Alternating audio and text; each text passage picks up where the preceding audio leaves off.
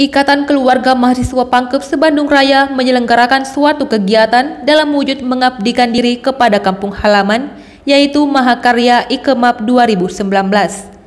Yang dalam hal ini mengangkat tema ide inovatif dalam mengembangkan wisata Pangkep. Pergelaran tersebut terbagi menjadi tiga item, yakni Lomba Mading Tiga Dimensi, Kampus Expo, dan Tol Show. Kegiatan yang didukung penuh oleh Pemkap Pangkep ini pun sangat diapresiasi oleh Bapak Wakil Bupati Pangkep melalui sambutannya di ruang pola kantor Bupati pagi tadi. Yang juga dihadiri oleh Kasat Intel Polres Pangkep, para camat dan perwakilan OPD. Terdapat beberapa sekolah yang ikut berkontribusi dalam mahakarya ini antara lain SMA 11 Pangkep, MAN Pangkep, dan SMA 2 Pangkep yang mengirimkan beberapa tim terbaiknya untuk membawa nama sekolah. Madin tiga dimensi yang diperlombakan tersebut dipamerkan terlebih dahulu. Tentunya tema boleh dong banyak diangkat oleh para peserta, mengingat Kabupaten Pangkep merupakan penghasil terbesar ketiga komoditi tersebut.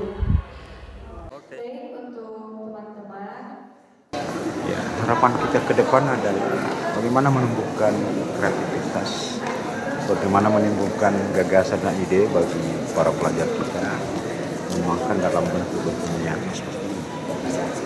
karena pariwisata kekuatan pariwisata itu kan membutuhkan promosi.